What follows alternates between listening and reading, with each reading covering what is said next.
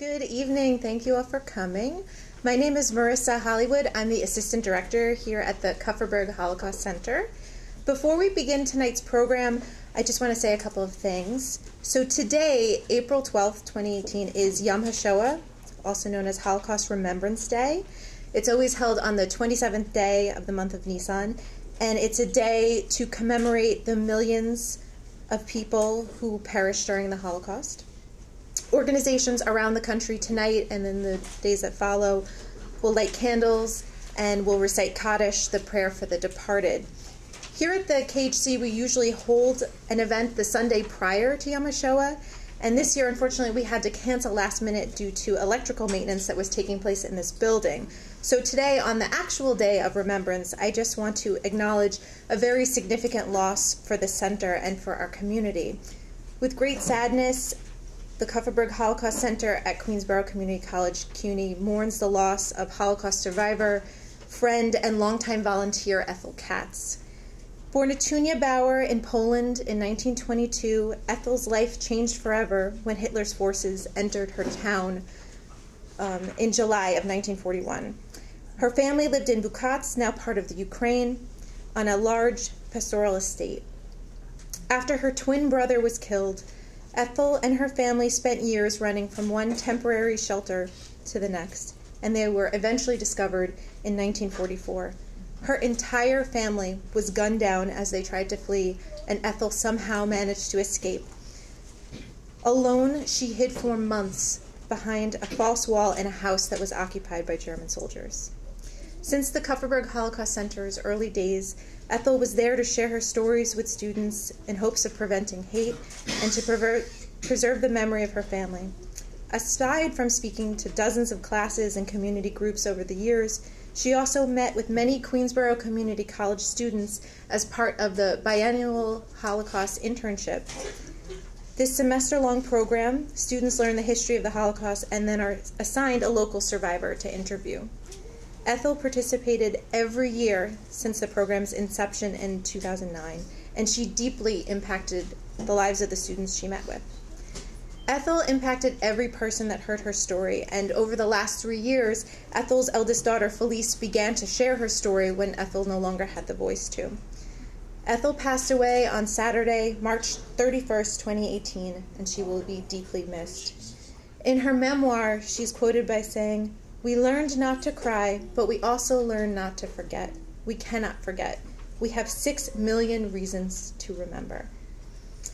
Please join with me in a moment of silence to commemorate Ethel Katz, the survivors we've lost in this last year, and all those who perished during the Holocaust.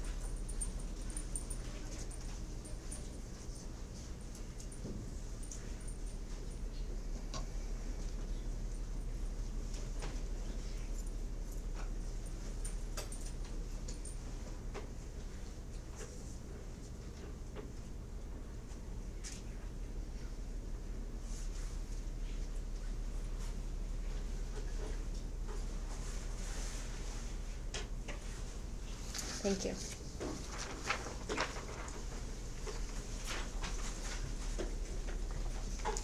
Hi, everyone. Thank you for joining us. This is our second to last NEH sponsored event where we are exploring the theme of complicity and collaboration during the Holocaust.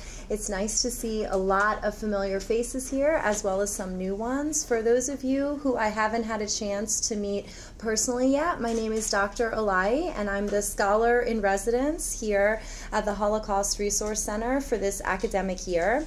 Just to give you a little preview of what we've been exploring since the fall, for those of you who are joining us for the first time, we've been looking at complicity and collaboration which roughly translates to the role that bystanders played in either ignoring the ways that Jews and their communities were being persecuted, which would be complicity. Um, that's a type of uh, guilt through silence or through turning a blind eye as injustices are occurring. Or collaboration, which is an even more severe form of behavior where neighbors are actively facilitating and enabling Nazi atrocities to occur. So we've been exploring this theme since last year, and the other side of the complicity and collaboration coin is rescue and resistance. While this was in the minority for neighbors during the Holocaust, rescue and resistance is exploring those individuals who defied the status quo that was established in Nazi Germany and occupied territories, and with great effort and oftentimes through putting their own lives or their lives of loved ones in risk, went out of their way to offer aid rescue to uh, potential Jewish victims and or resist um, other policies of the violent Nazi regime.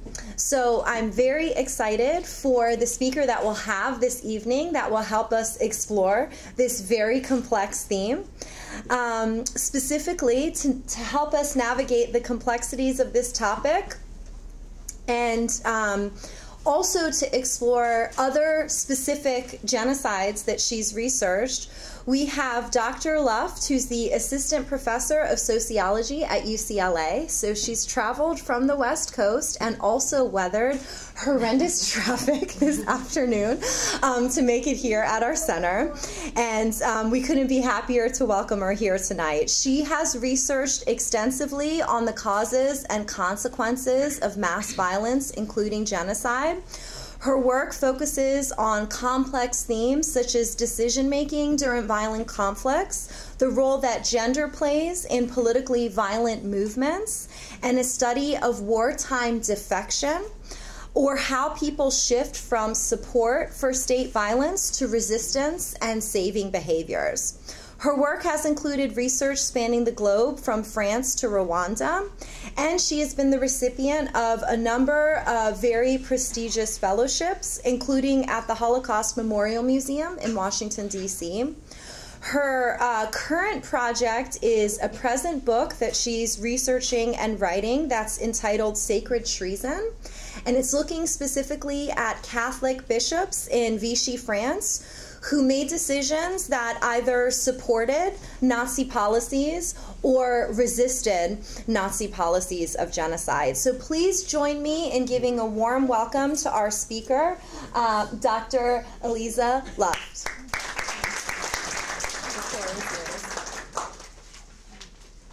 So, normally I would just say thank you for having me today. But I want to take a pause and just really say thank you. Um, we heard this beautiful introduction, a very tragic introduction about the history of the Holocaust. And many of you may have seen in the New York Times this morning an article that showed that only, I think, 22% of Americans really know about the history of the Holocaust and know about how many people were killed, how horrible it was. So, for all of you to be here today, it shows that you care to learn to know and to keep that memory going. So, really, thank you for coming out. It means a lot to me. One of the reasons why it means a lot to me, um, this is embarrassing, but maybe not so embarrassing because my mom's in the audience, um, is that I am a grandchild of four Holocaust survivors, and I might get emotional talking about it with it being Yom HaShoah today. Um, this is my first Yom HaShoah without my grandmother alive. She passed away last year. My grandfather passed away five years ago, I think, and he would have been 101 years old yesterday. So, this is my siblings, my grandparents. I'm very fortunate to have grown up with a family that talked a lot about the Holocaust growing up, that shared their stories from a young age, and clearly it had a very profound impact on me. Um, and so, as a result, I've spent most of my life trying in some capacity to understand what motivates people to participate in violence when they have no pre existing history of violence to begin with. So, really, the civilians, the everyday people, neighbors who turned on neighbors, why did they do it? Um, and then when I was in college, uh, actually, I had just come back from my junior year abroad, uh, where I was in Prague and I was doing work, learning about how the Holocaust was being taught in Central and Eastern Europe. I came back and I watched the movie Hotel Rwanda. And I was shocked because the Rwandan genocide happened in my lifetime. Admittedly, I was 11 years old, but I was old enough at that point to know what genocide was, to understand it, to have seen some scenes on TV. And I felt very much complicit in the fact that I was silent. I didn't really pay attention. It was easy to ignore from a distance. Um, so that was very upsetting to me, and it prompted me to want to learn a lot more about the Rwandan genocide but also, the story of Rwanda, of Hotel Rwanda, is a story about a man who is Hutu, who was expected to participate in the genocide because he was Hutu, and he ended up saving hundreds of Tutsis instead. And so, paradoxically, even though today is Yom HaShoah, I'm going to start by talking about my work on Rwanda, and then I'm going to talk about my current project on the Holocaust in France. And that's because this story made me reflect more on my own family history so here's a picture of me and my grandfather. Sorry. My grandfather, one of the reasons why he was able to survive the Holocaust was because a Nazi officer's mother took an interest in him, liked him, somehow, you know, cared about him and told her son in law that he had to drive my grandfather over the border and save him, put him in a place where he wouldn't be targeted by other Nazis. And he put my grandfather in the back of his car, he hid, un- hid underneath the seat, drove him over the border, said, Get out of the car and run. And that's one of the ways that my grandfather managed to survive. And then you have my grandmother over here with my mom, it's in the front. um, and my grandmother, similarly, you know, was on the run. Her family was murdered in Majdanek. Most of my grandfather's family was murdered in Auschwitz. My grandmother, one of the reasons why she was able to survive was because she and her sister and her sister's boyfriend at the time, husband at the time, um, were actually uh, taken in by a Polish family who fed them in, you know, hid them underground in a pig farm, and her sister and her sister's husband basically survived off of these pig scrappings that they then passed on to my grandmother as well. Um, they also had a son who we, you know, sort of refreshed my memory this morning. Their son was killed by the son of the people who took their family in because they were worried he'd be too much of a threat. So again, you have a situation where people are simultaneously saving Jews and killing Jews. And this you know, this question how do people shift stances during a genocide? How do you support and resist violence in the same war? It really puzzled me. So I went to Rwanda and I started asking these questions How could you be both a Nazi and save Jews? How could you be both a Hutu and save Tutsi? And what explains behavioral variation in genocide more generally? And that's the question that I explore in my research. I look at it at different levels of analysis not because it's what I originally set out to do, but because I, it, it came up in the process of doing this work and I didn't have an easy answer. So I'll tell you a bit about the time I went to Rwanda.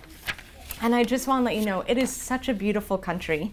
Uh, they call it the land of a thousand hills, but there's also this saying that God sleeps in Rwanda because it's so beautiful.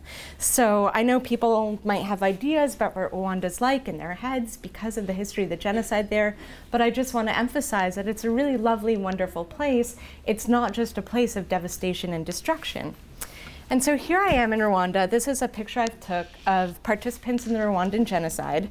And I was interviewing people, and they started telling me these stories. Well, I saved, you know, my neighbor. Uh, he was running from the Hutu. But then the next day I went out and I killed four people. And then the next day I refused to participate. And the day after that I killed seven more people. And the day after that I refused to participate again. And then I saved my sister in law. And then I killed this other person. And I was just totally baffled because this doesn't make sense. You know, it didn't make sense with the typical narrative we have of why people participate in genocide. You know, these are people who murdered people, who murdered their neighbors. So, how could it be that they saved people at the same time? And the fact is, they did. And yet, hopefully, you've all been learning about different reasons, different theories about why people participate in genocide. These theories, to me, didn't provide an adequate explanation of how people make decisions in these violent contexts. And the reason why is because they go into it assuming once a killer, always a killer. So I started exploring this question with regard to the previous theories of why people participate in genocide. And I just want to go over these really briefly for people who don't know what the literature says more generally.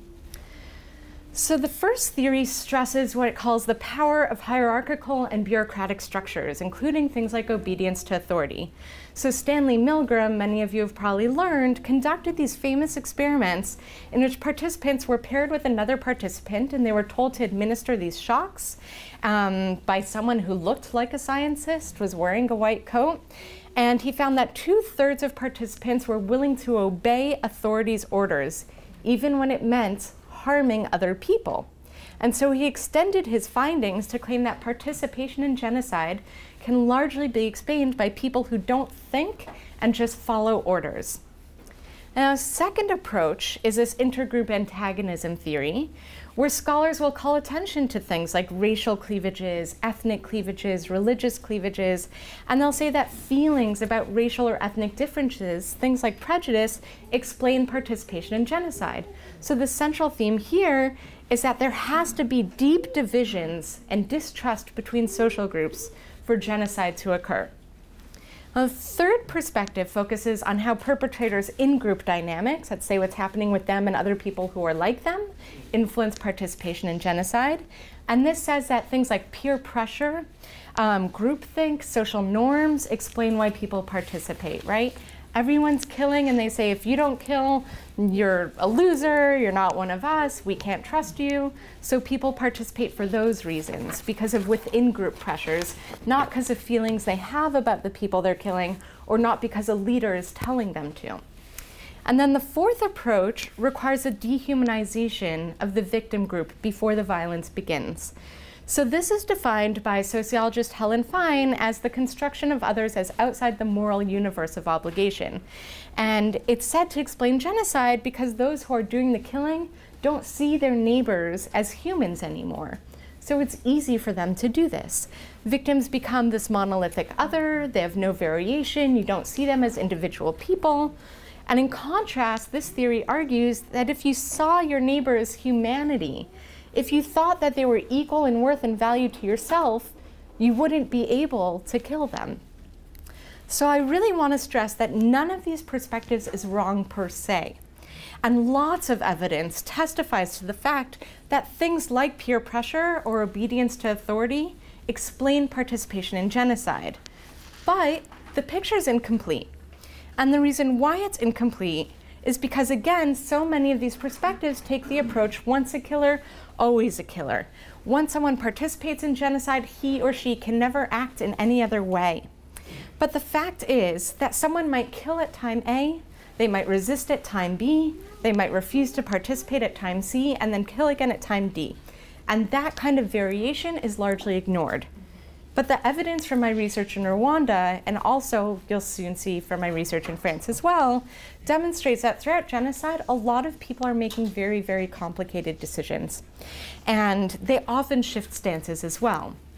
And hopefully, I mean, the goal for my research is that if we can tease out what influences these decisions, why someone might kill at time A and not kill at time B, if you have a more accurate sense of why someone who is killing might suddenly stop, then we can start to identify good mechanisms for intervention, right? Oh, look, this person was killing, they stopped killing. A lot of people did for that reason. Well, maybe that's something that we can help do in Myanmar today, for example, or in Syria. So I try and build on my research, and this is something that I, you know I'm publishing on and constantly trying to work on to try and say if we can pinpoint those moments of variation, those are opportunities for intervention. So I want you to keep that in mind as I present some of my findings. Okay, so the first finding to emerge, um, sorry for that arrow, the first finding to emerge among the respondents who I interviewed in Rwanda and their recounting of what motivated their behavior in the genocide is that financial capital, economic capital, helped some Hutu refuse participation in violence. So when Hutu defected from killing by drawing on economic resources, they were motivated by what I described as a transactional mechanism, the exchange of economic capital for agency in a very dangerous and constrained setting like genocide. So if you look at Alphonse, who participated in the genocide, he explained, for someone who is caught cheating, it could be serious he had to pay a fine determined by the leaders, a cash fine, for example, 2,000 Rwandan francs or more. And cheating in this context, of course, meant refusing to kill. Or we can look at Fulgence, who says, anyone who sneaked off behind his house to avoid participating was denounced by a neighbor and punished with a fine. And then Marie Chantal, who is a Tutsi survivor of the genocide, explains the farmers were not rich enough, like the well to do city people, to buy themselves relief from killing. Some doctors and teachers in Kigali paid their servants or their employees so as not to dirty themselves. So, in the 1994 Rwandan genocide, economic capital was a resource that some people were able to draw on to avoid participation. It was a transactional mechanism, the exchange of economic capital for the opportunity to not kill. In the context of extreme violence, this informed individuals' decisions about how to act. The reason why I think we see such a high correlation between poverty and participation in violence isn't necessarily because people are greedy and there's something they might gain, but it could also be because they don't have the resources to refuse, right? If you have money and someone says, you know, we're going to punish you with a fine for not participating, you say, okay, I don't care, here's $2,000, leave me alone. But if you don't have that money, you don't have that opportunity. It's much harder. So that's just one mechanism. A second finding from participants' reflections on what influenced their decisions about how to behave in the Rwandan genocide is that their relationships mattered. And of, of, course, their relationships mattered. So, in other words, their personal ties, their relationships, would influence when and for whom they were willing to use those resources. Are you going to use it for a stranger, or are you going to use it for your neighbor, or for a cousin, or for a sister in law, or for somebody that you know? So, in the Rwandan genocide, given how high the risk of refusal was, civilians were unlikely to refuse participation unless they were asked to do so by someone who they cared about, whether as a family member, a friend, or a neighbor. And at the same time, this decision to risk defection in the Rwandan genocide was heavily shaped by the context that Hutu would find themselves in. So, in particular, being very close, geographically close to others who are participating in the violence would make it less likely that they would save because it was so dangerous. Um, when they were alone, when the people organizing the genocide was far away, were far away, it was much easier for them to do so because the risks of doing so were lessened. So, as a result, the mechanism that explains this, um, there's actually this great historical sociologist, Chuck Tilly, who I named my dog after. Um, he defines this as alternations of connections among people, among groups, among networks. What I add to this is the idea that these alternations, in this case, are dependent on the context that you're in, and that context shapes the order of importance of your relationships in any given moment. So social ties are important for pulling people into participation, right? That was the mechanism we discussed before, peer pressure. People pull you in. But social ties are also important for pe pulling people away from participation in violence. And so as a result, social closeness isn't sufficient for explaining participation. We need to understand that closeness and the context that people are in. So here we have one respondent who describes killing his brother this way. And I just want to say, when we, when we argue that people participate in genocide because of deep seated ethnic, racial, religious hatreds, in the Rwandan genocide, so many people killed their family members. There was 70% rate of intermarriage in Rwanda before the genocide. So when we say that there was always this deep seated hatred, we're not doing justice to the real relationships that they had with each other and to how those were torn apart by the context of violence and war. So I'm just going to read this quote quickly. This man says, my older brother had a Tutsi wife. She was there at a church with her children, and when he went there, the head of the parish asked for food and beer. He went to get them at a center, but when he was at the center, the burgomaster, which is the mayor, came and said, Where are you going with those things? And when my brother explained that the priest asked for food for the refugees, the mayor found the killers and they took him to kill my brother. The group did this, but my brother was not dead.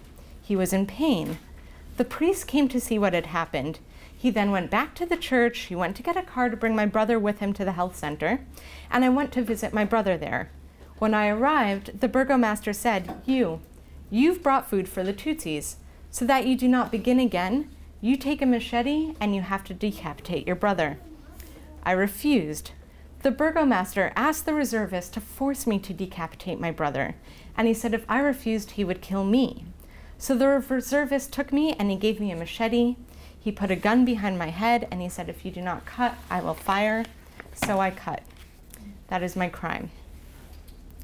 So here we see how the relationship between social ties and the, and the situation they're in, the spatial proximity, it's clear in testimonies by Rwandans who killed people close to them and Rwandans who saved people when they were physically distant from those who participated or were organizing the genocide.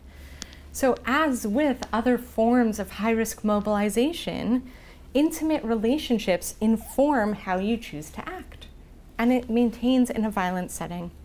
So, the relational mechanism argues that social networks are influenced by the context that you're in to explain the behavioral choices that you make.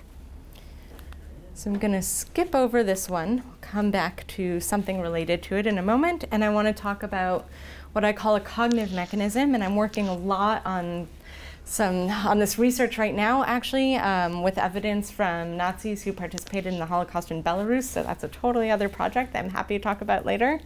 Um, but this fourth mechanism essentially suggests that timing really shaped whether or not people would align with the killing behaviors expected of them. And then dehumanization unfolded in the process as a result of that. And so this is really very important in Rwanda because many scholars will argue like I mentioned earlier, that victimized civilians need to be dehumanized for perpetrators to kill them. And these works will look to things like racial epithets in state media before genocide, propaganda that describes victims as animals or insects for evidence that dehumanization has occurred. But, and I think we can all say this right now because we know that there are TV stations and radio stations that say horrible things about some of our fellow citizens that does not necessarily convince us to believe them. So the mere fact that there is dehumanizing discourse and dehumanizing propaganda doesn't necessarily tell you how all civilians are responding to it, right? Because people can respond in a variety of ways. So it's contrary to what you might expect given the heavy emphasis of so much re research on propaganda before genocide. But even after extremists would enter their communities, and they'd mobilize civilian Hutus to kill, their first few times participating in genocide were horrible. It was a horrible experience to kill another human being. For most people, that is a horrible experience. Um, and these Hutu, you can tell because it was so horrible, they fully recognized the humanness of those they were participating in violence against, or else they wouldn't have had that horrible reaction, right? And so they recognized the humanness of their victims and they would struggle to cope with the consequences of their behaviors. And sometimes they would participate in violence as a way to save other Tutsi with whom they're close. So this shows that the decision making about who to save, who to kill, whether or not to kill, whether or not to save was very complicated early in the genocide.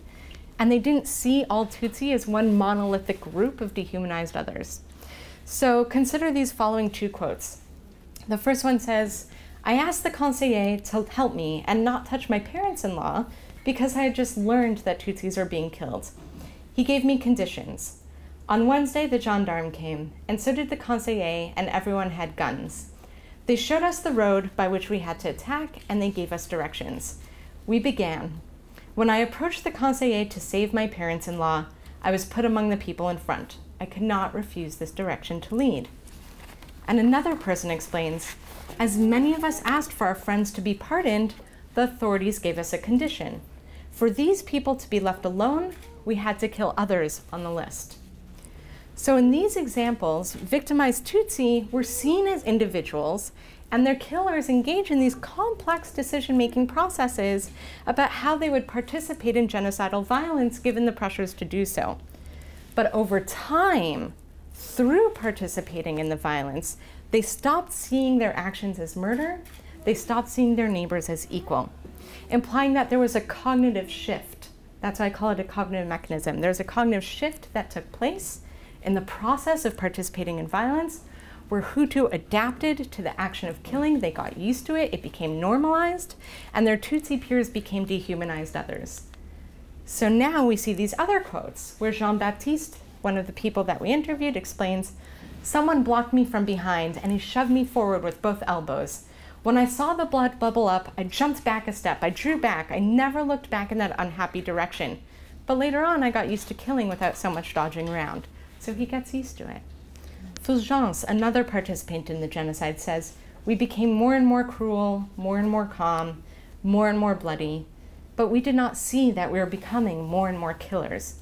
The more we cut, the more cutting became child's play to us. And then finally, Ignace says the Tutsi had become people to throw away, so to speak. They were no longer what they had been, and neither were we. So, Hutu who participated in the Rwandan genocide repeatedly describe this process. And they say things like man can get used to killing if he kills on and on. He can even become a beast without noticing it. And these statements mirror a lot of research on wartime violence and also research on the military, right? In which scholars argue that the experience of participating in combat can help raise your in group interests for protecting us and override your pre existing individual preferences. And as a result, even though a lot of people who study genocide say that victimized civilians have to be outside the moral universe of obligation for genocide to occur, my research finds that dehumanization is an outcome of ongoing participation in violence, as is adaptation to the process of violence itself. And this is both good and it's both bad. It's bad because it shows that people can kill without necessarily believing that the people they're killing are dehumanized others. They can kill for all these other reasons we discussed before. It's, it's good because it shows that if you intervene early, there's still opportunities. It shows that even if there's propaganda radio, not everyone necessarily believes it. It shows that people aren't going to suddenly automatically think that their neighbors or their loved ones are horrible human beings just because some crazy person on the radio is telling you, right? So it's an important thing to keep in mind. There's a pro and a con to this. And I just I think it's always helpful to try and complicate our understandings of human behavior in this way. So I understand if you're like, this is nuts, I object to her research, um, you know, this is just one case, how do we know it applies elsewhere? So I want to tell you a little bit about my work in France, and I'll leave the rest for the Q&A. So I am currently writing a book called Sacred Treason, How French Bishops Defected from Vichy to Save Jews During the Holocaust.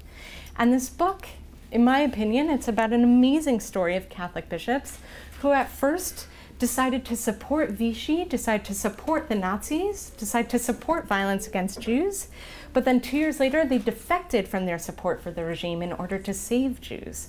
So again, you have people shifting stances throughout the course of a war. And I know that many of you, ideally from walking around today um, or beforehand, have learned about the story of Protestants in the Chambon-sur-Lignon. So in case you haven't, I'm just going to briefly review what happened here. Um, so from December 1940 to September 1944, the residents of a small and rural French village called Le Chambon provided refuge for over 5,000 Jews who fled the Nazi occupation and some of the larger cities like, like Paris. And many scholars have tried to explain what made these Protestants and this entire community rescuers of Jews, what made them so unique. And people have suggested that they rescued them because, as Protestants, they were a historically persecuted minority, and so they empathized with the plight of Jews. They understood what it felt like to be persecuted. And other approaches would say they were just uniquely exceptional, outstanding moral human beings. And other approaches would say that because Le Chambon was so far from the center of Nazi occupation and so rural, it was easier for them to rescue Jews because there weren't Nazis everywhere like you had in some of the major cities. But these reasons can't explain why Catholic bishops, not all, but some of them, made similar choices.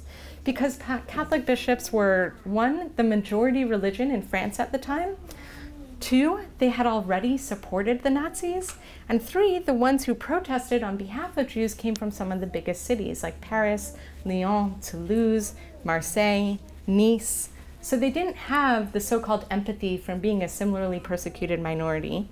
They weren't exclusively more moral human beings because they had already supported the Nazis, and they weren't safer because they weren't far removed from the Nazi occupation. So, why did they do what they did? I'm going to tell you a bit about the story from the very beginning. In May of 1940, how do I clear this arrow? All right, sorry, it's fine says undo, clear. Yeah. Oh. On the corner. There we go. All right. I like my pictures. I want to share them.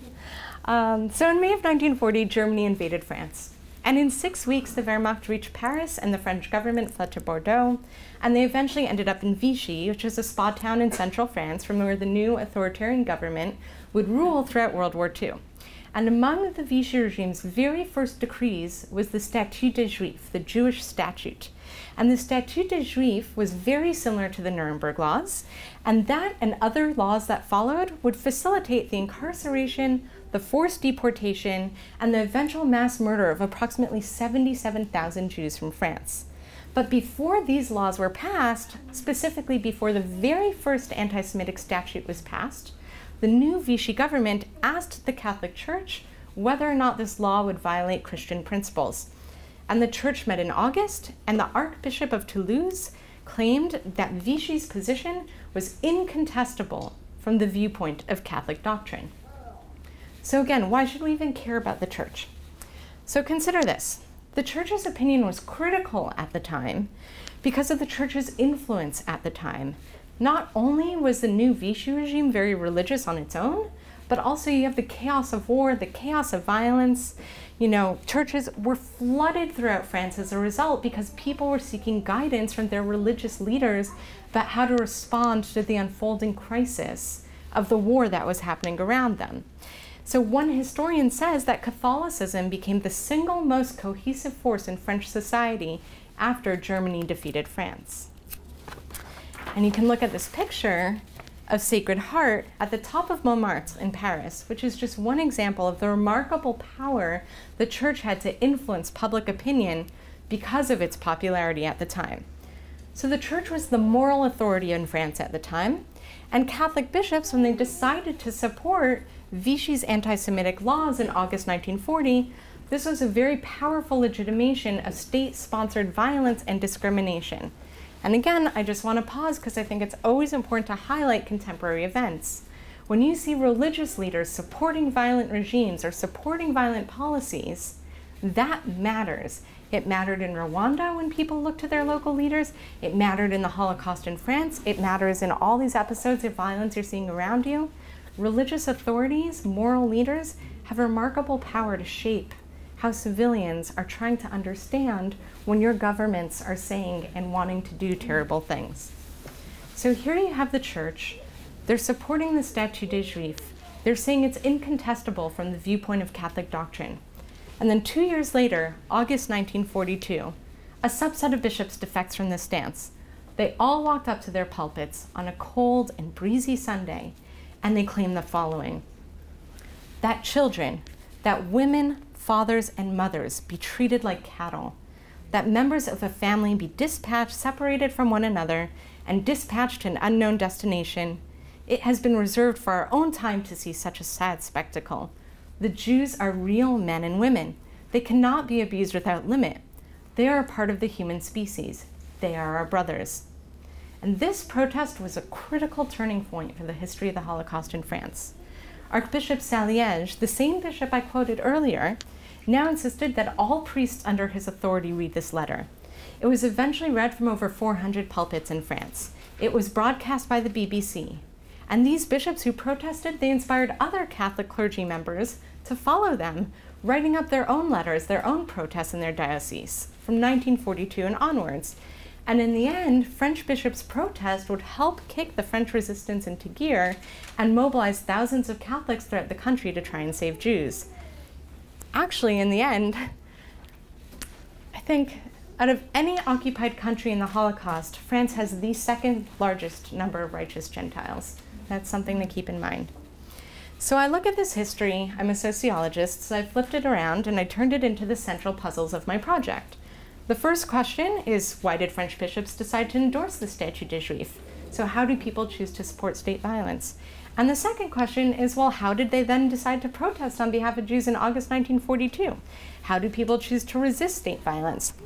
And these questions align with the research I'm asking in Rwanda and in other places, which is how is it that people with no pre existing history of support for state violence choose to mobilize and endorse it?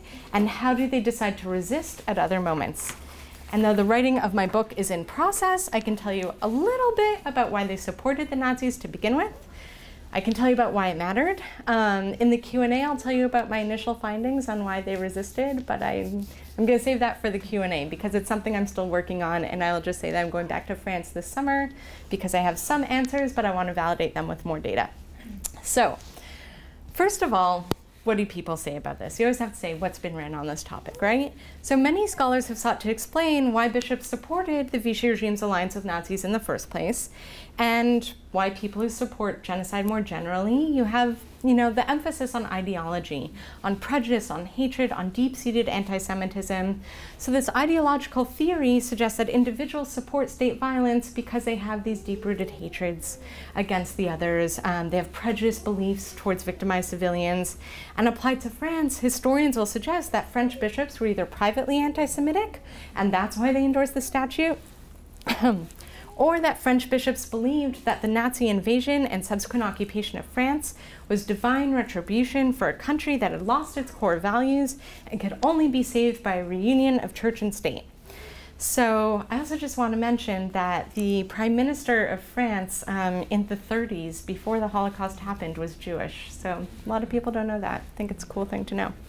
Um, so in the words of one historian, an example of the ideological argument, Traditional Catholic circles were particularly exposed to the contagion of anti Semitism because of the persistence of old anti Judaism and religious ties that continued to unite Catholic and right wing circles that, continu- uh, that were hostile to Republic secularism. To, uh, to the Republic and secularism. And this anti Semitism, which was social and economic and political, persisted and worsened during the crisis of French defeat, and it led to increasing xenophobia. So, this is the ideological argument. But there's a second argument that's also often made about why individuals support genocide, and that's because there's, there's opportunity in it. There's something they can gain from it. So here are the ideas that people mobilize to hurt others or to limit their rights because in ways they think they might benefit from those actions. That, or they're simply so blindsided by the benefits that can be gained that they just don't even think about their actions as wrong. So, applied to France, historians will argue that the church was so excited by this new possibility of reuniting church and state under the new authoritarian Vichy regime that bishops just forgot about Jews. So, one scholar writes that in the New France, the church felt it had the wind in its sails, and the first Jewish statute aroused little interest. Or another historian explains the first Jewish statute aroused little interest, Catholic leaders said nothing, while the Catholic Church in France enthusiastically supported Vichy because its themes of contrition, sacrifice, and suffering resonated with the Church, and not since the 1870s had the Church seen a greater opportunity to advance its interests. Again, these arguments aren't wrong, and it's not surprising that scholars, historians have identified ideology and interest based motivations to explain why the church supported Vichy anti Semitism in the early years in the war this time period in France was totally overwhelming, super crazy upheaval, right? You imagine a foreign government comes in, takes over, takes over your country. It's a major crisis. And scholars argue, sociologists will argue, that in times of crisis, you see both extremes of the moral integrity spectrum, right? Opportunistic ambitions on one hand, ideology on the other hand, right? But in the middle of these two poles, for a lot of people, there was a lot of confusion. So, bishops who compromised the episcopate and were responsible for deciding on the statute felt all these ways. You had some people who were deeply anti Semitic. You had some people who thought that they could gain a lot. And you had a lot of people who were confused. And this matters because it indicates that even though individuals might have had ideological dispositions beforehand that made them more inclined to support Vichy, and others might have been eager to support Vichy because of what they thought they could gain, there were also people in between, and neither of those perspectives explains those people in between, nor how the church as an organization came together and decided to support the statute. So, how all these people with different perspectives actually aligned around a common stance of support for state violence against Jews. So, for this, to answer this question, I again question this link between identity and violence and I suggest that we should focus on the moment of the decision, how people make their choices. And that's because, again, I know I'm, I'm repeating this lesson, but I think it's so important. Whether you're a Hutu or a Nazi or a Catholic or any other category of person that is expected to support a genocidal regime, that doesn't tell you about the actual choices people make. You might be expected to do something, but whether or not you do it is another, is another matter altogether. So when you focus on the moment of decision, we can actually parse out if identity matters, how identity matters, and how it shapes decision making in violence. So, to determine how bishops decide to endorse the Statut de Juif, I spent 15 months collecting documents from archives in France, in Israel, in the United States, and this is notes and letters and diaries and meeting minutes and private correspondences between many different bishops, between bishops and Jewish community leaders, between bishops with the Vatican or with representatives of the Vatican. Um, and this was collected from the French National Archives, French Diplomatic Archives, the Shoah Memorial Archives in Paris, um, the Camp des Milles Memorial Site in Aix-en-Provence, um, from the U.S. Holocaust Memorial Museum in Washington, D.C., from Yad Vashem, where I met my husband, of all places. So, in examining this data, what I did was I paid close attention to both the subjective, right, the private feelings that bishops had, and the interactive dimensions, how their feelings changed depending on who they were interacting with, and how this overall influenced their decision making. So, this means I didn't only pay attention to what they wrote to each other and what they said in various public statements, but I also pay attention to what they didn't say and who they didn't say things to and why. So I was attend- paying attention to the power dynamics in their correspondences. I looked at when they were willing to express their ideas publicly and when they kept them private. Um, one of the most interesting things for me was reading their diaries. A lot of them kept diaries. Um, and let me tell you, this probably isn't shocking to anyone in the room, but a lot of times what people probably privately felt and how they publicly acted were two very different things. Um, and we know this. We know that people are like this. A lot of us are like this. We do things we don't necessarily want to do for a whole variety of reasons. So I started my analysis in 1933, and this is when Hitler was appointed to the Chancellor of Germany. And contrary to a lot of the research, I find that many bishops were very outspoken on behalf of Jews from 1933 to 1939. But public denunciations of Hitler, of Nazism, of anti Semitism, they were made by some of the most important church authorities in France, including in Paris, Marseille, Nice, Toulouse, and Lyon, but they declined over time. So we see here red men on the map that represents where all these bishops were protesting on behalf of Jews once Hitler came to power in Germany. And here's an example of some of the things they would say. Processes of intolerance, sectarianism, and persecution for religious reasons, no matter where they come from and the denomination they are against, should provoke a universal reprobation from all honest people. It is necessary that all men of righteous heart and loyal soul, with the cult of moral and spiritual forces, unite to protest against such violations of freedom of conscience, against oppression, the victims of which today are Israelites from Germany. So, this is 1933, the Bishop of Nice speaking out on behalf of Jews. And this declaration and others like it complicate this dominant historical narrative because it's clear that French bishops held a variety of perspectives from 1933 and 1940. And it means that ideas translate into action, ideology as the motivation for supporting state violence, can't be the only reason why they supported the Statut des Juifs. Diversity prevailed among bishops' attitudes, and so as a result, we can dismiss the first argument that says ideology was the only reason why church and state came together and against Jews. But this forces the question what happened to cause a shift from outspoken people like this, like Monsignor Rémond in Nice, to committed support for state anti Semitism by the same bishop and his colleagues only a few years later? So, in other words, how did they converge around a common support, common stance of support for state violence? So, my first findings suggest that the transformation of the context and its impact on the church was necessary to alter French bishops' opinions. And specifically, the very first significant transformation to affect the church was the deaths of two of its most prominent actors. So, in February 1939, Pope Pius XI died.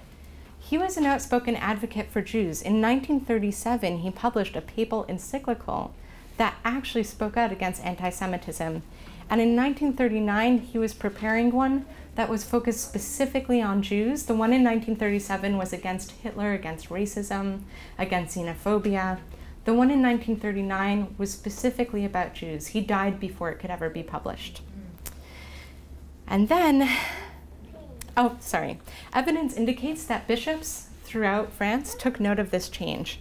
So in June 1940, one month after Germany invaded France, a senior cardinal in Rome wrote to Cardinal Suhard in Paris that he was afraid that history may be obliged to blame the Holy See for a policy that is only accommodated to its own advantage. So they knew there was a change. They were aware that this was not good. And this change in the papal leadership meant that the most prominent leader in the, French, in the Roman Catholic Church shifted his stance towards Nazism. And this was important for Catholics everywhere, but it was especially important in France, where the church also lost Cardinal Verdier. And Cardinal Verdier was the Archbishop of Paris. He was one of the most outspoken bishops on behalf of Jews. This is his New York Times obituary. He was known as a champion of the oppressed and as a foe of dictators and he even attended meetings for the League of Human Rights with rabbis and French mayors in the months before his death in April 1940. So, my first point is that when Pope Pius XI died, and when Cardinal Verdier died shortly after, the institutional anchors of the church changed, and that had tremendous consequences for how French bishops would understand the situations that they were experiencing. And in particular, the new church authorities, Pope Pius XII, would alter bishops' understandings of the realms of possibility and constraint, what they could or couldn't do with church support. So in May 1940, less than one month after Cardinal Verdier died, Germany invaded France. And reactions among contemporaries, described by contemporaries, have been described as total shock, disarray, that the French were stupefied, they were stunned. But likewise, and less often knowledge, is that the church was in disarray as well. So not only had there been a sudden death in the leadership of the church, but also churches throughout the country were bombed and destroyed. And furthermore, France, and therefore the church, was divided into two. So a third of clergy was in the army, other priests were acting as chaplains outside the diocese, and then you have, pardon me, the demarcation line, which separates France in half, and that starts in Lake Geneva, it extends to Tours, southwards to Spain, and communication across the demarcation line was prohibited. So as a result, my second point is that external shocks, right, situational larger things caused by the war, divided the church and it caused bishops' organizational norms. We're going to a meeting, we know who says what, we know who's going to communicate, we have a system of hierarchy, we have a system of leadership. Those were totally disarrayed. Bishops couldn't communicate with each other in normal channels. They couldn't call each other on the phone. They couldn't drive to meet each other. They couldn't write each other letters without fearing that they would be read by the Nazis. And so now, when they had to decide on the Statut des Juifs, they couldn't communicate with each other normally, so they had to rely on these other signals I'm going to talk about in a moment. So, my third data point concerns how the division of France impacted some of the most prominent bishops in the church in distinct ways. Because, first, in the occupied zone, three weeks after France and Germany signed the armistice, the new Bishop of Paris, Cardinal Suhard, who took over for Cardinal Verdier, he's young, he's new to the job, he's followed home from Mass by a group of Nazi officers. They destroyed his home, they arrested him, they locked him in the kitchen for four days, they kept him in total isolation, and when Suhard asked, Why are you detaining me? The Nazis said that they knew of a plot that he was supposedly hatching against the Reich. But the questions, and this is, you know, Suhard asked the Nazis, this is what they say. But the questions that the Nazis asked him tell us even more. Because when they were searching his home and confiscating all his documents, the Gestapo turned to Suhard and they said, What do you know about the Judeo Masonic activities of Cardinal Verdier? This is his predecessor, right? What do you know about his support for Jews? So trying to figure out the cardinal stance for Jews was critical for the Nazis. They wanted to prevent him from following in Verdier's footsteps, and they wanted to limit any outspokenness on behalf of Jews by the new authority of the French Catholic Church. And Cardinal Suhard, in response, began to quiet his rhetoric. And this repression would have grave implications for how the Association of Cardinals and Archbishops decided on the statute two weeks later. Simultaneously, oh, pardon me, this is a picture of Cardinal Suhard. So simultaneously, in the free zone, Cardinal Gerlier individually sought opportunities to collaborate with the new regime. So here you have someone who is very highly opportunistic. He was the only cardinal in unoccupied France, and he was the official representative to the Catholic, for the Catholic Church to the new regime as a result. But his efforts at negotiation weren't unanimously supported by the church. And in fact, when he received permission from the Nazis to cross the demarcation line to meet with the bishops in occupied France, others expressed that they were very frustrated and concerned, and they disagreed with his approach of trying to negotiate and work with the Vichy authorities. So on July 10, 1940, Cardinal Suhard signed a letter with Gerlier and others, and in this letter they claimed that the stance of the church was unanimous. But that same day, Suhard writes privately in his diary that he had little faith in Gerlier's aspirations. He wrote many words, few ideas. What is the point of this whole enterprise? I have little confidence. So, again, someone acting in a way and privately not believing in what they're doing. And then you have Cardinal Gerlier, who made countless public statements of support for the Vichy regime. And many people have interpreted his statements as indicative of the entire church's stance in aligning with Vichy in the early years of the war. So this discounts all these backstage divisions and dissent, especially by those in the occupied zone. For example, Cardinal Gerlier's most famous quote from July 9, 1940, was that Pétain is France and France today is Pétain. Almost every book, every movie you see about the French Catholic Church during the Holocaust will quote this quote. However, if we look beyond these public statements to church officials' private notes and diaries, it's clear that not everyone agreed with his attitude and with his open praise for Pétain. So, again, in contrast to a portrayal of the Catholic episcopate as unified in its eagerness to herald the start of this new regime, and as with the earlier argument about ideology, we can dismiss the theory that selfish interests brought the church and state together and against Jews. It did for some, but not for all. And we can say, to an extent, absolutely, Suhard's selfish interest in protecting himself and protecting his church was one of the reasons why he remained silent, but this is different from an interest in seeing how much they could gain by aligning with Vichy, right? And in contrast, you have Gerlier, who's clearly interested in obtaining benefits from the new regime by praising Pétain, but his stance was not the unanimous one. So how did they converge among the, around this common position of support? So the first meeting to decide on the statute was August 28, 1940. It was in occupied France, and Cardinal Suhard, who had just been arrested by the Nazis, was presiding over it. And although French bishops were given this permission to meet by the Nazis, they were told they were only allowed to discuss spiritual concerns. So when Cardinal Gerlier convened the second meeting three days later in unoccupied France, the, de- the desires of the church that they transmitted from Suhard to Gerlier were a need for unity, a need for caution, and for prudence in case of any contingency, and this meant increasing repression by Nazis. Importantly, the Jewish question was not discussed in this meeting. And this was despite the fact that the French government specifically asked them to talk about it. They wanted to know was it legitimate from a Catholic perspective to discriminate against Jews? But does this mean that they just forgot about it?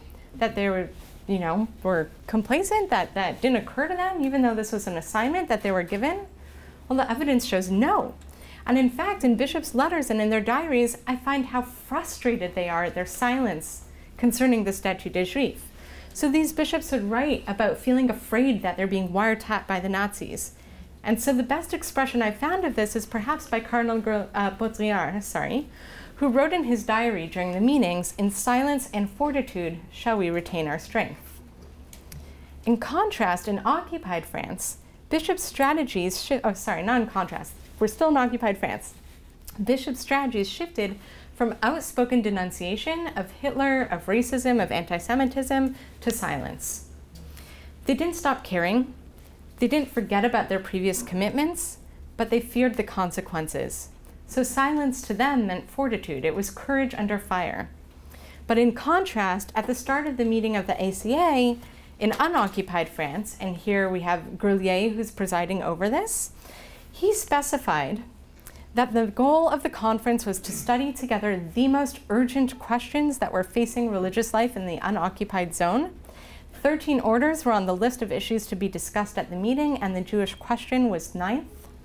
When it came to discuss the Jewish question, Gerlier began severe provisions will undoubtedly soon be decided against the Jews. And he then said, a brief report outlines the principles that must guide the Christian attitude. The report which is anonymously written, is titled A Note on Anti Semitism Reflections on Some Themes to Guide a Christian in the Issues Raised by the Recurrence of Anti Semitism in the Contemporary World. And in it, we see authors struggling over how they should classify a population that they believe is distinct and different in some way. And we see that they want to distinguish their perspective from the Nazi belief system, from this racist belief system, while still articulating what they thought was an important distinction between Jews and the rest of France. And so the report negates various kinds of anti Semitism. They say, oh, we don't believe in political anti Semitism, we don't believe in hate filled anti Semitism. But what they do say is that the nature of the problem is not racial, it's not national, it's spiritual. And it's spiritual, they argue, because Jews all over the world are connected to each other, and as a result, it's impossible for them to assimilate. And the authors say that this refusal to assimilate surpasses all explanation, and the result is that Jews are a thorn in the flesh of nations, and that allows the state, as a guardian of the general interest, to have a right and a duty to ensure that this shared spiritual feeling among Jews doesn't harm the good of the country. And in the end, this is the exact same language that the church used to justify the Statute de Juif in its meeting minutes of August 1940. And I just want to point out this idea that Jews are unassimilable, that they're connected to each other all over the country, it's absolutely anti Semitic. It is also an argument that modern day politicians make about other people who they think cannot be assimilated in our midst. So think about these arguments. I mean, this isn't just the past, it's currently relevant as well. Um, and obviously, I feel it's very important to keep highlighting. So Gerlier wrote the meeting minutes of the ACA, and in it he explained the church's position as follows. He said, on the one hand, there's the fact of the existence of an international Jewish community to which all Jews of all nations are attached, and that can oblige a state to take protective measures in the name of the common good. But on the other hand, a state cannot brutally hunt Jews and deny them their natural rights. It might seem legitimate from a state to imagine a particular legal status for Jews. But the statute must be guided by rules of justice and charity. And this exact language, there's going to be a separate category, there's going to be a separate category of citizens, but guided by justice and charity, whatever that means. Um, that was parroted by Vichy Foreign Minister Paul Baudouin when the law was passed and he was interviewed by American newspapers. So, what can this result tell us about how people make decision in violent contexts? I want to emphasize silence speaks volumes. And in particular, the silence of powerful and prominent people speaks volumes, and has power to, to sway entire trajectories of political events with profound consequences for history. And the consideration of the relationship between silence and status helps to explain the story. Because although the institutional structure of the church was undergoing rapid changes, and even though organizational norms to guide bishops' communication were unclear, the fact that there were still positions of authority, they still existed, it provided a focal point that bishops could look to to try and determine what the safest stance was. What are our leaders going to do? This is what they're doing. They're not saying anything. We're not going to say anything either. This is what they're doing. They're protesting. We're going to protest too. So, as best as I can discern from the meeting minutes of the ACA, combined with private notes of some bishops in attendance, prominent church authorities had disproportionate sway over how decision making occurred in the episcopate in 1940, and this was because of their status. So, Cardinal Suhard in Paris, very high ranked authority, Cardinal Gerlier in Lyon, also a high ranked authority, had the most prominent positions in the episcopate on their respective sides of the demarcation line when the Statute de Juif was decided on. In occupied France, Cardinal Suhard encouraged silence, and silence followed. He may have seen it as an act of resistance, but it enabled the status of Cardinal Gerlier and his support for the Statute de Juif to take sway, to take hold, and to shape the ultimate position of the Church. So, in unoccupied France, Cardinal Gerlier marshaled a variety of perspectives towards the statute.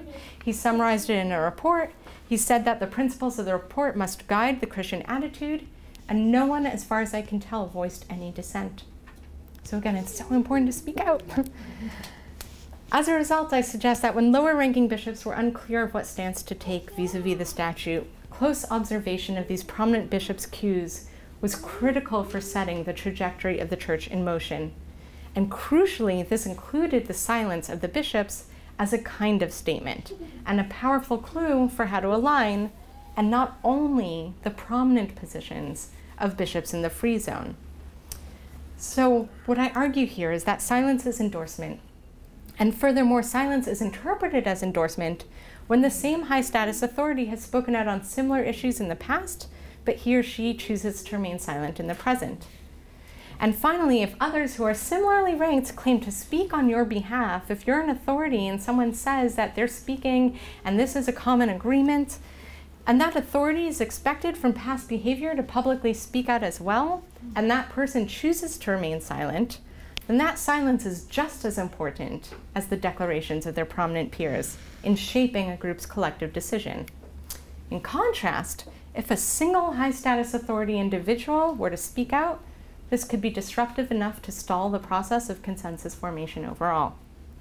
So I'm going to stop here. I really feel free to ask me about how they defected in the end because there's so many cool elements to the story, but I want to emphasize a few things, a few lessons from today. First, from my work in Rwanda, we learned that people who participate in genocide don't always and only participate in genocide, but sometimes they save people too. And because of this, if we look to the reasons why people shift stances throughout the course of a conflict, we can actually start to think of opportunities for intervention. So, the first finding, for example, that people often participate because they're too poor to refuse otherwise, suggests that economic development is very important for mitigating violence. And we should target companies in places like Myanmar, places like Democratic Republic of Congo, that are profiting from violence by providing funding for violent regimes. This is something I wrote about in the Washington Post on January 26, 2018, so feel free to look that up for an idea of how it could work in process, in practice. Second, the finding that dehumanization is part of the process of ongoing participation in violence and it doesn't necessarily happen beforehand, it shows how important it is to intervene early in genocide. We should absolutely try and limit as much hatred on radio and media and TV and airways as possible. But also, if it ever gets to a point where violence is happening, we need to intervene early. I mean, we have tremendous opportunities by doing so. When people are still hesitant to participate and they're trying to figure out what to do, that early intervention is crucial. And then, third, one finding that undergirds both of my projects is that local leaders are really important for shaping how civilians make decisions. So, in Rwanda, much like in France, people look to their religious leaders, they look to mayors, they look to the police to figure out what to do. And in fact, there are several communities in Rwanda where absolutely no genocide happened at all. Zero. No one was killed. And that's because the mayor and the religious leaders spoke up against it and they said, We are not going to do this. And that is so important for shaping trajectories of violence. So, like the results of my research in France, in places where local leaders speak up, no genocide happens, or less genocide happens, and people are saved. In places where leaders remain silent, you have the same results as places where leaders spoke up to support the violence. So leadership matters, speaking up matters. And I want to tell this part of the story today because at a time where so many people are being victimized by the current government, where people are suffering, where people are afraid, it's important to speak up against it. So I want to leave you with this one quote from Cardinal Saliège, who ended up defecting and narrating that beautiful protest we read earlier, and he triggered this protest that would result in France saving the second largest number of Jews from any occupied country during the Holocaust. And it's as follows It is not just print that counts. Silence speaks, dead silence, dignified silence, silence of maturity, silence of meditation, silence of caution, silence of servants. Silence is an act. What is the nature of your silence? Thank you.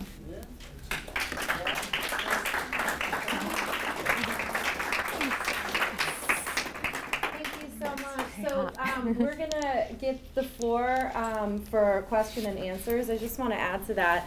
Um, I, it reminds me of I was at the March for Our Lives um, in New York several weekends ago, and one of the most resonant signs for me as a Holocaust scholar was there was a student who had a sign quoting um, the the Auschwitz survivor Elie Wiesel, and it specifically said, mm-hmm. um, "Silence always hurts the victims, and it empowers the oppressor." So mm-hmm. I, I love that you ended with um, such a resonant quote there. That's great. So we're gonna mm-hmm. open up the floor. You're welcome to take whatever questions, and we really want to encourage our students in the group to ask questions if it'll help with an assignment, or um, you can link back to things you're doing in your classes. We also want to get some student voices.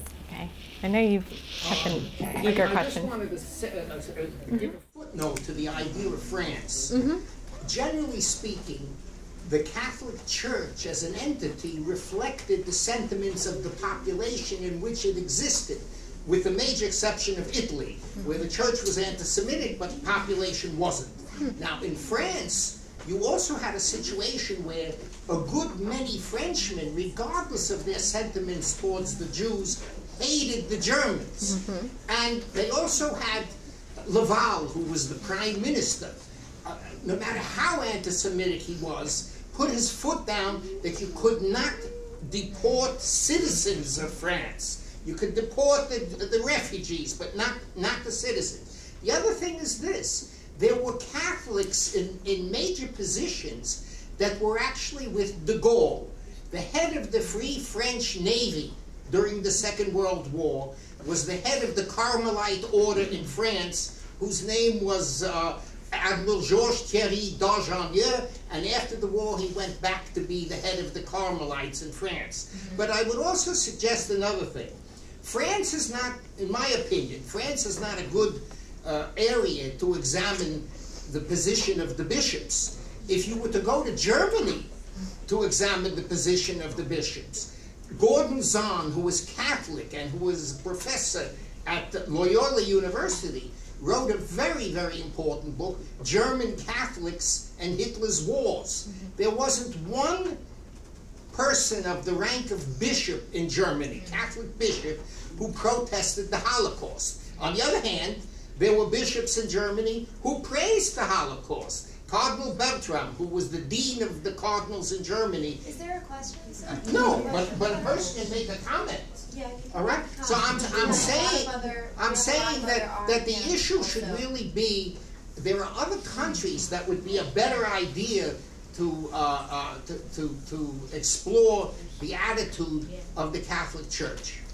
Thank you. Was there a particular reason why you focused on Vichy France? Yeah, um, you know, the particular reason why I focused on Vichy France, and so with regards to your comment that there's other places that are better to study, is it was a great place to study my particular question, which wasn't why did some people support and why did some people resist, but why did the same people support and resist at the same, you know, over time they shifted their stances.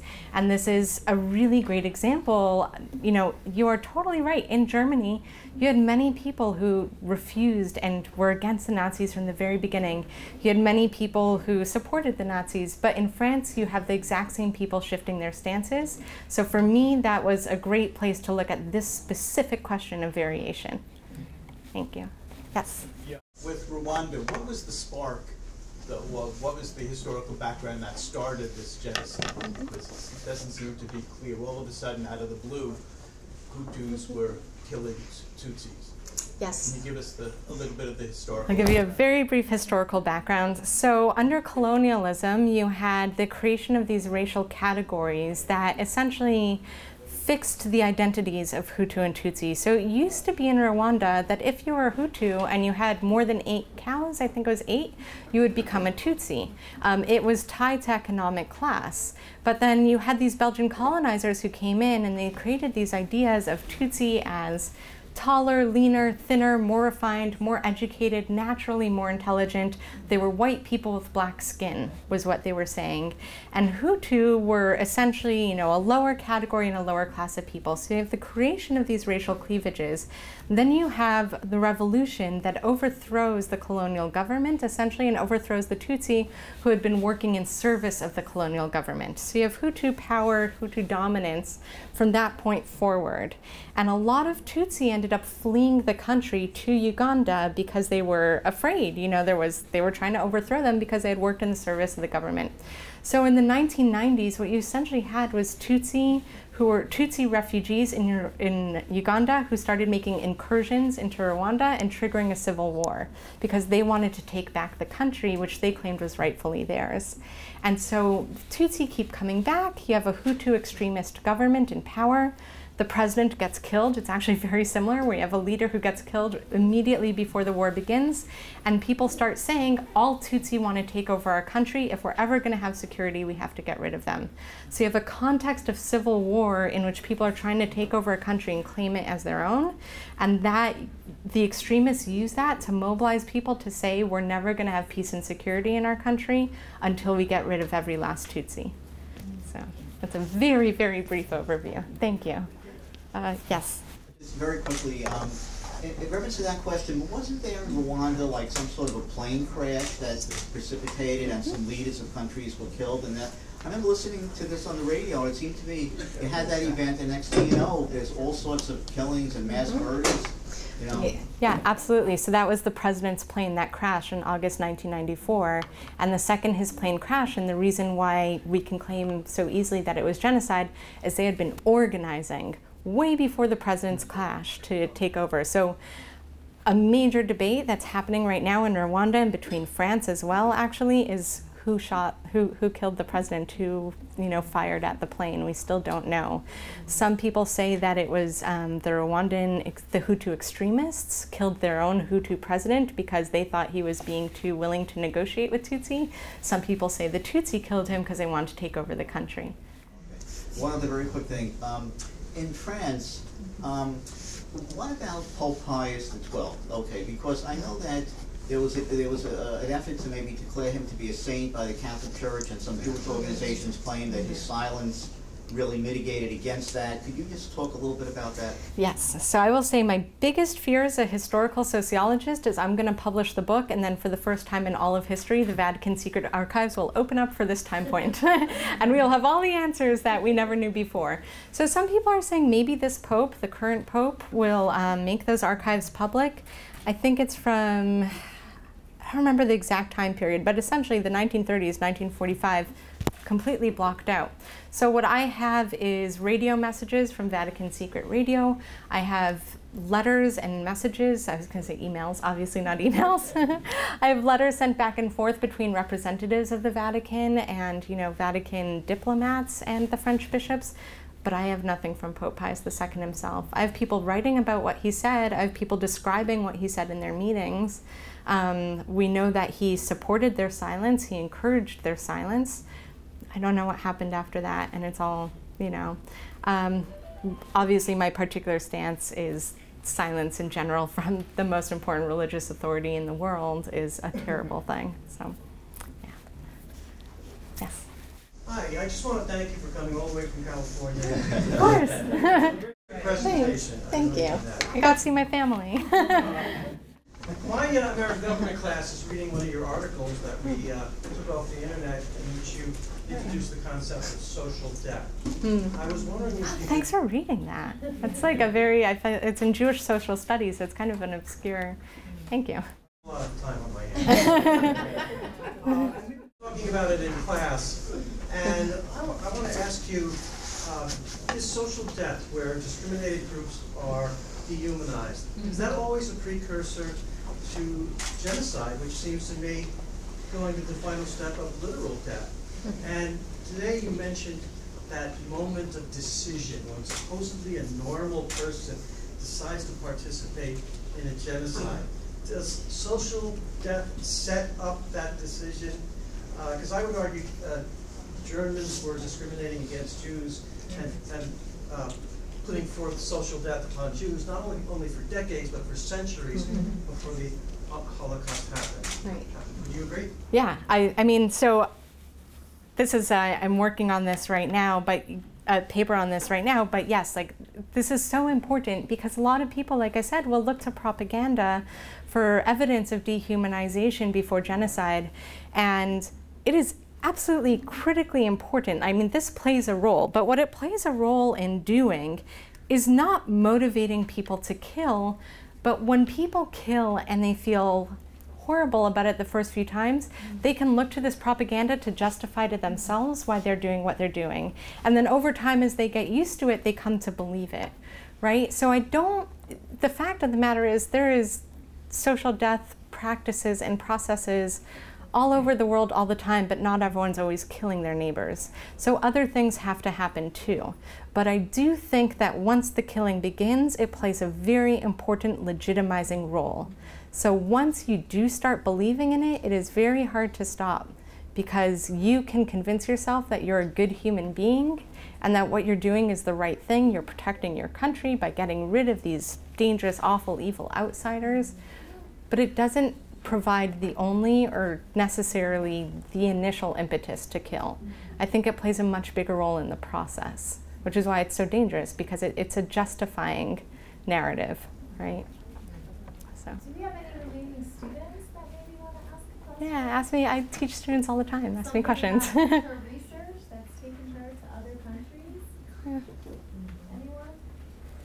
I, I had a question for you from a researcher perspective. Mm-hmm. Uh, I think that we all have these kind of maybe preconceived notions or stereotypes if we hear that an individual was a perpetrator of genocide or that someone was a victim or a survivor.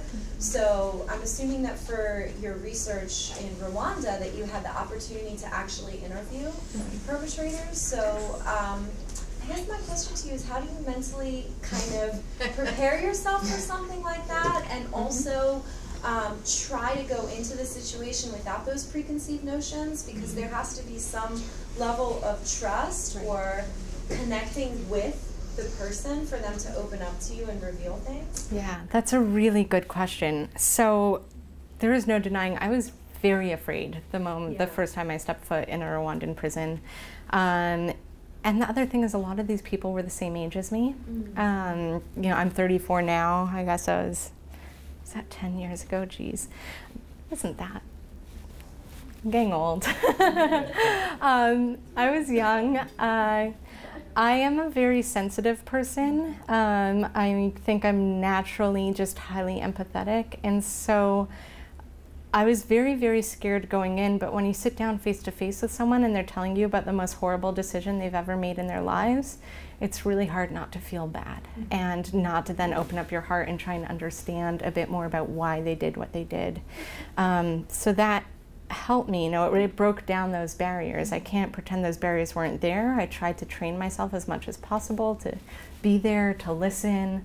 But when you're sitting with someone who's in prison for the rest of their lives because of a terrible thing they did when they were 18 years old um, or 17 years old, it's very hard not to just say, wow, like, you know, you're talking about killing your brother. That's, I can't imagine, that's the worst thing I can possibly imagine, you know? And so, um, that I think would help break down those barriers, that human to human interaction. And it's like in everyday life too, right? You have preconceived notions about people, but when you sit down with someone and you have an open hearted conversation, it helps you build a connection with them and then actually really try and listen to what they're saying. Do you think it also played a role that they had already been incarcerated? So, yeah. for instance, you read um, cases of researchers who go to Rwanda and um, the individuals that they're interviewing are very coy or they're not clear or right. forthcoming about what they were doing, yeah. um, you know, when the genocide occurred. So mm -hmm. how much of the fact that they had been presumably found guilty or they were already incarcerated, how much do you think that played a role in their willingness to share um, their participation yeah. with you? I think as a researcher, that's always a challenge because, again, these are people who are in prison, so they're under certain constraints and they've already admitted to their guilt. So they might have had time to reflect on their story, to prepare their story in a particular way for what the trial was. Um, so it's something I'm very sensitive to. So in my research, I try and cross reference it with other interviews done by other scholars to see if they're finding similar patterns. So the more patterned behavior and reasoning we can find, whether it's me or someone else or another person, um, the more valid our results are, you know. But there's always going to be that issue with post hoc explanations of participation in genocide. Yeah. yeah. Hi, thank you so much for coming Thank this you. distance. It was wonderful. I think that you said something very important that I think has um, great import for our students, Mm-hmm. which is that this is relevant today. And I really greatly appreciate that. It's been relevant through history. Um, in the Dominican Republic, when Trujillo was a despot, the bishops got together and they put out a message, and it sounds like a smaller version of this. But, but back to today, I'm wondering um, if you've looked at or could talk about, you don't need data, um, the implications of what you're talking about for our criminal justice system today, in that a killer is not always a killer. Oh, sure. And and I'm also specifically thinking about these are kind of two separate topics, gangs, Right. and the way that um, children are brought into gangs, very much the way people um, were brought into the Nazi youth and and in Rwanda, and that a killer is not always a killer. And do you think that your research could be used to speak to this problem in America today? Yeah, so first of all, in um, I don't think so. My third mechanism, which is social psychological, in the actual paper that I published based on this, I make direct references to the gang violence literature because this idea of proximity is so crucial and, and not being able to leave an environment where people are trying to co opt you and pull you into violence it has such a big role in why people act violently. They don't, you know, there's no other choice. This is where they live, this is their community. It's not necessarily that they can't wait to go out and go to the corner and participate. It's that going to school is a dangerous, threatening, scary thing. You have to walk past these groups. If you're going to need protection, maybe you're going to join one of them. So I think there's a lot of resonance here, and scholars who look at violence are actually starting to do a lot more work comparing the mechanisms. So I can send you emails, um, just you know, with references. Yeah, and with the criminal justice system, I mean, yeah, absolutely. I it's this isn't necessarily about the criminal justice system, but just in terms of how important having leadership who speak out against violence, against mass incarceration in this country um, is crucial. Uh, my mom and I were watching the Katie Couric interview last night about Charlottesville, and you had religious leaders link arms to fight against that KKK white supremacist rally. That is so important. You know, just having people speak up when our rabbis go to protest or, you know, other religious leaders or when they join together in the civil rights movement, you know, this we need this. It's these are moral leaders, they have a role to play because you can't necessarily control what the government is doing. You know, you I, I used to give this example under Obama and it didn't feel as like prescient and scary. But um, you know, you have a government leader who is saying we need to get rid of every X in this country. They're a threat to this country. Um, I'm not going to necessarily hear what the president is saying and say, oh, okay, I'm going to do that. Let me start rounding up all the whatever in my community. Um, what I might do is go to church, go to synagogue. What is my rabbi saying? What is my you know, bishop or my priest saying. I might talk to my friends. I might listen to what my teachers are saying about it.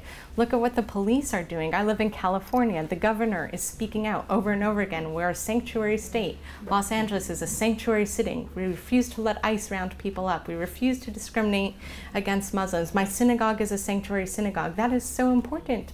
Um, and so it's, I think it's directly relevant to what's happening today. And, and the point is that I can't control necessarily what the president or the chancellor is saying, but what's going to shape my perception of what I can do to fight back against it is what my local community is doing. So I think that's very important. Thanks. Thank you so much again for traveling Yeah. so far. Thank you. Thanks for giving me an opportunity. Thanks.